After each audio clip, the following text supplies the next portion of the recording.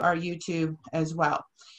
Miss Marie, I'm so excited to have you on Freedom Friday. Uh, it is July 10th already. Can you believe that of 2020? Time has gone yep. by so quickly.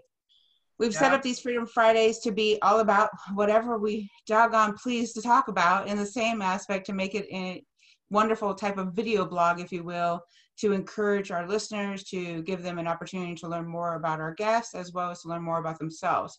And who better than to be a vessel to that vessel to them than you, Miss Marie? You have been a uh, living example of the journey of self-discovery. Would you agree with that? Yeah, I think yes, I think so. I think that's that's my motto: self self discovery or bust. I love it, Marie. Would you share a little bit of your history, how we got connected, how uh, how you're just willing to be such a wonderful, willing participant? Well, thank you. I'm um, so I've lived a lifetime of seeking, I think, opportunities for growth always and for service from the time I was a young person. I've had a couple of different distinct careers as a result of that and been successful at them. And I met you about maybe, I think, eight or nine years ago when I was working in real estate in Palmdale um, for K- based at the Keller Williams office there, and you were the in-house uh, productivity coach, and mm-hmm. that's how we first met. And you left KW and and I also moved on to another location of KW but still practicing real estate and I found what you had done for me the doors that you had helped me open of insight into my own process and why some things seemed to fit well for me and other parts of real estate didn't fit well for me and and you really helped me discover that and so I continued working with you privately and we've gone forward to partner on some things and now I'm um, I'm available to do coaching under your banner, um, under the banner of your, your organization, One Light Ahead, and so here we are. Isn't that exciting? I, yeah. And yeah. you you've got certified in a specific material as well. Did you want to speak a bit yes. about that? Yeah, the um, the Og Mandino.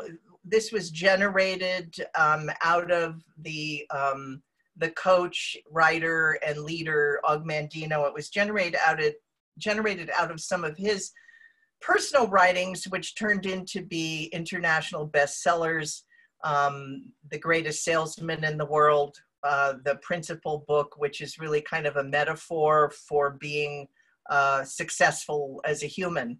Um, and so that was taken on by a couple of folks in um, Utah and at the request of Mandino's widow, and they created a training program, a personal development and professional development training program called uh, the Habit Finder and using materials, using the raw material from Og Mandino, but also using a, a fantastic and still to me very mysterious and accurate mathematical tool that was developed by, um, I'm blanking on his name. Hartman Institute. Um, yes, the Hartman, Hartman. Institute. Mm-hmm back in the 1960s and they used the, this mathematical formulation to begin to develop measurements that would help people look at their habits of thinking and mm-hmm. see which habits of thinking were helping them and which habits of thinking were getting in their way. And when you first introduced me to this, I just saw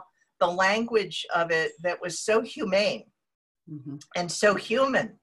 Um, and it's still, I still love it. I don't want to be limited to just looking at coaching through that one lens but um, it is a wonderful foundational tool for helping people discover themselves and move forward. And I, I keep doing it. I keep doing things with you over and over again as a student and as a um, kind of a, you know, a so-called assistant or associate because I just uh, keep getting deeper and deeper and I want to get deeper with it. I want to understand it um, until it's second nature and a lot of it has become second nature for me and how I observe and experience other people and experience myself. I, I love there's so many pieces of what you said and, and I t- tell people all the time I've been an executive coach now over 10 years and just amazes me that that much time has gone by. I've been a trainer for yeah. over 20 years and in business for 20 years and gone through so many different processes of training and teaching and coaching and developing others. And I tell people I, I got certified in the DISC behavior styles, which was the outward behaviors. And when I got exposed to the habit finding material, it was the everything happening beneath the surface that really yes. would take for and I spent many years coaching before I got exposed to Habit Finder. And as you got to see, it took me a little while to buy into adding it into my curriculum because yeah. it was an awareness that I had spent so many years learning what they had documented. And then to be able to have a way to use that documentation as well as, as you said, use our uniqueness, our own years of history and experiences and training and bring that into our coaching arena. And you also helped with the Masters League competition and how we built that. And so yes. uh, that is years and years of uh, the process of growing other individuals, learning how to create systems and structures for their business, as well as give them some awareness of how they show up and how they connect and how they are purposeful in that process. And so we've we've spent a lot of time building a whole lot of things, right? Yeah, yeah, and it's really been like working with your material and how you've adapted um, uh, the the habit finder material and folded in into your own vision and your own tools that you have. Um, um, I say we go. We're explorers, and you, you, you as a coach, you're an explorer. You go out and you raid the camps of other explorers and you see what they have and you you create a mess with it and then you you integrate it into something that makes sense to you you you change it you you adapt it into your own la- vision language i guess really um, that and so i've seen i've gotten to experience through you different ways of looking at one tool one training tool for instance, last night you and I were in a in a in a workshop, and you had us do an exercise. Um, the half dozen of us or so who were in it, you had us do an exercise, and I had just done that exercise earlier in the day because mm. I was working on another habit finder program and I was just playing with it. And I thought you were going to go in one direction and you went in a completely different direction that made total sense to me and was useful to the people in the room. Um, you know, quite selfishly, I, I, I love this material for what I get out of it for me personally.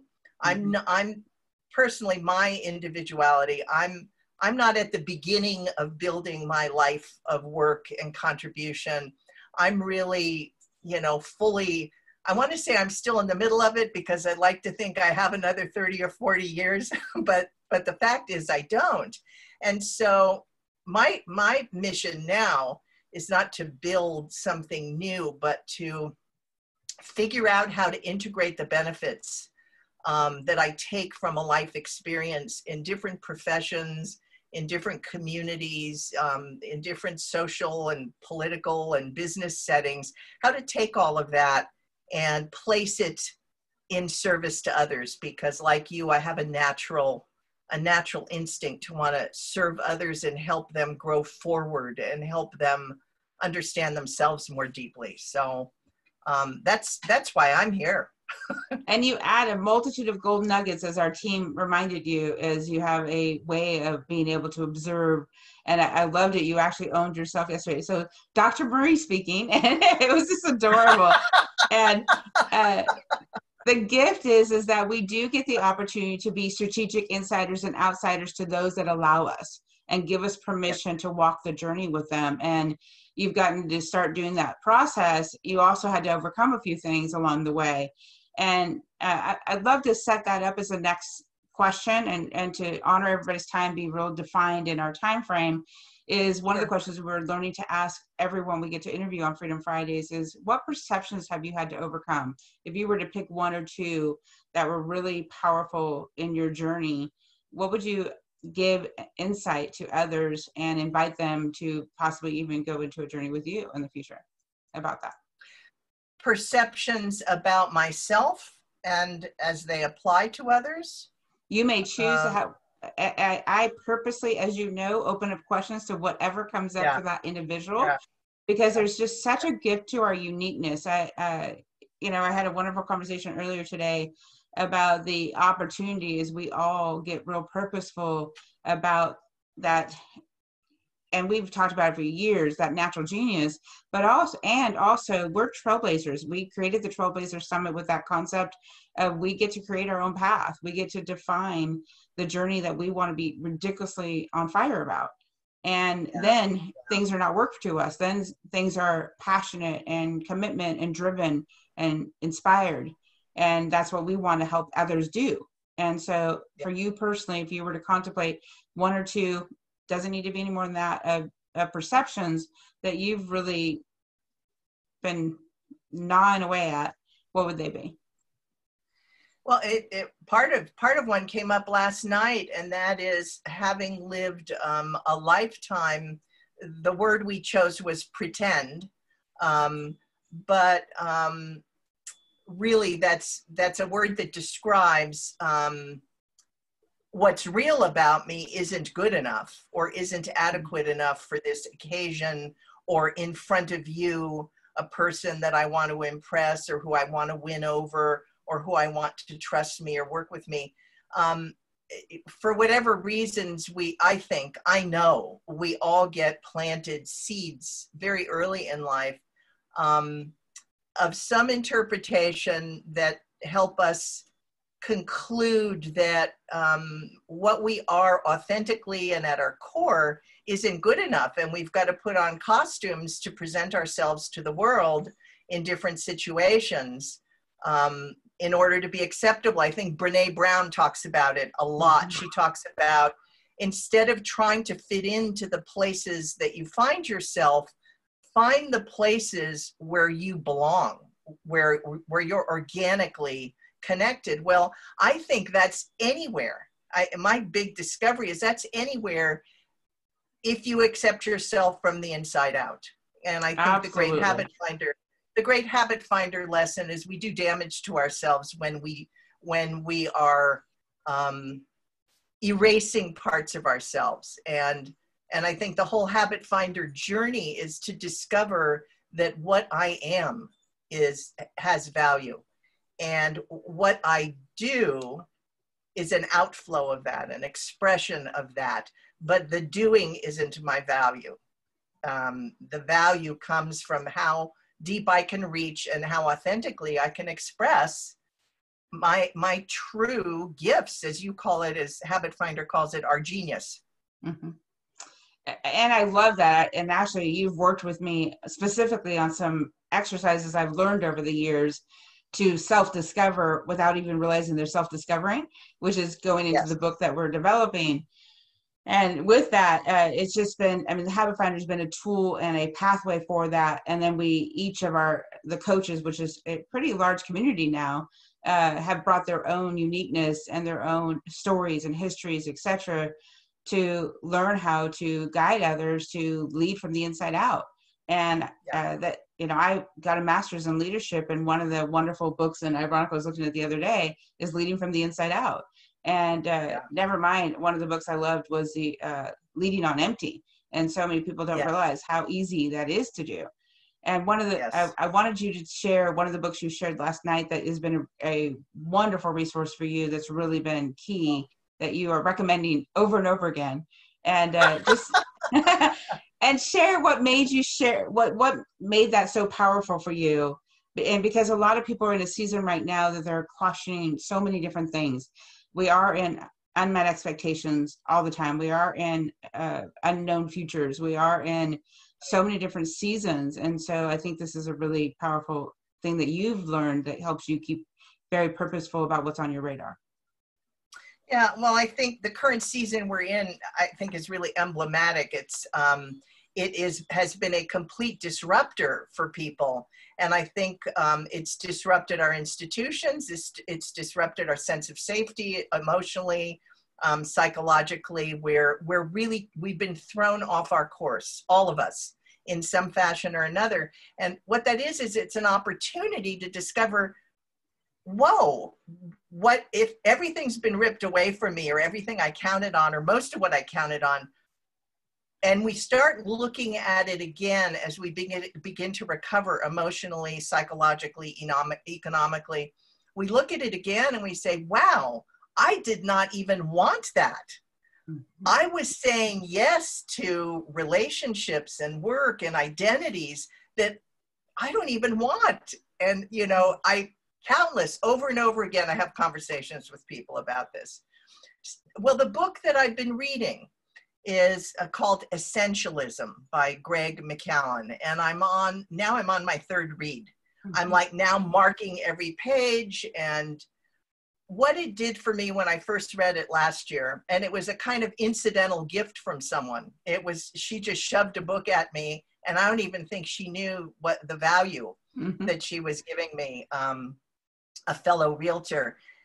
It's about choosing our lives. It's about choosing what we say yes to and about acknowledging that we, in spite of what our culture has driven us into, it's like driven us into this box canyon of That's frenetic busyness, saying yes to everything, having to work, you know, 24 7, be available 24 7. Um, And that's a fact. I mean, that's what our our culture has become um, the val- they're implicit, they're quiet values, but they're there. And, and this is about saying, whoa, wait a second. What is it costing me to be spread this thin, to be saying yes to everything? And it, it's become almost a reflexive to want to say yes, to want to please, to not want to disappoint people, to not want to miss a great opportunity. And the big bottom line of this of this writing of his, which is very concise and, and really an easy read on the surface, is creating your own opportunities rather and choosing them rather than just um, selecting from the opportunities that the universe is throwing at you. Uh, because everything you say yes to takes up psychic space. It takes up mental space. It takes up your physical energy. It takes up your intelligence, your creativity. Do you really want to be doing all of that? I mean, that's the big question. And for me, the answer is a resounding no.